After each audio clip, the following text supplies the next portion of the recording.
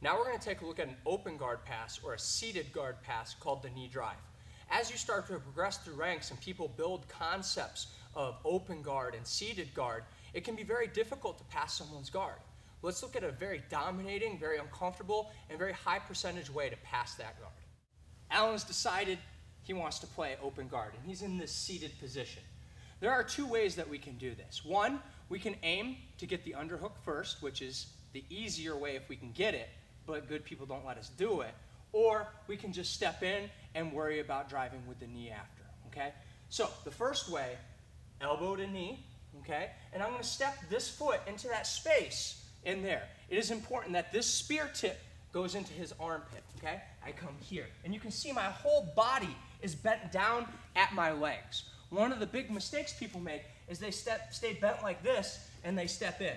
That's a great way to get your arm and leg hugged together, and the next thing you know, you're face planting on the mat. We don't want that, okay? So make sure you bend at the legs, and when we step in, that we're squatted using leg power, not our hips. So I'm here, and I step in. You can see I've got good base right here. Now, here comes the knee drive part. Straighten out this leg and lift this arm.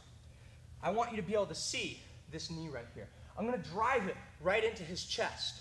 The big mistake that people make is they start off by trying to drop this knee right here, and I don't have his posture broken down yet. I'm gonna run into some problems. So what I want you to do is I want you to use that knee to start to drive his back towards the floor, and then you bring your knee across. Once we have that knee across, we slide through. Again, same fundamentals as all my other videos. Chest angled towards the floor, knee towards the ceiling, and we wanna move our hips back burying our head into that shoulder.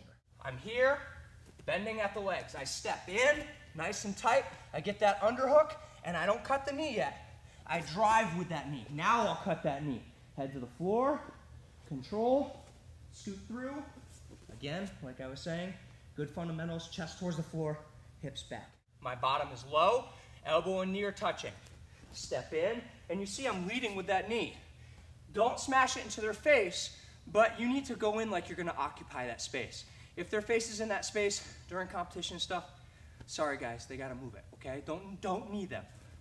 Here, all the way in. That knee is gonna drive towards the floor. I like to put that hand on the floor, cut. I do like to take my head to the floor. Sitting through, chest back. My bottom is low. Controlling, step, knee. Drive, cut that knee, head to the floor, and sit through. High percentage pass, I really like it because it can be uncomfortable and it gives you the underhook on the other side.